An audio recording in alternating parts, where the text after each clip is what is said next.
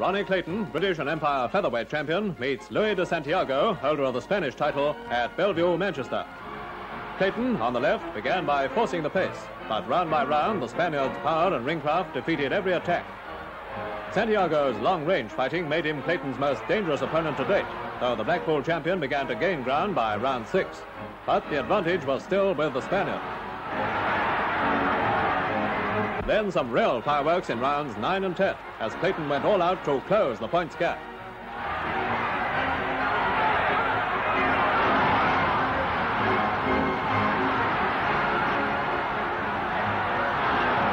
And with the final bell, the referee declared the result a draw. Two courageous fighters in a photo finish.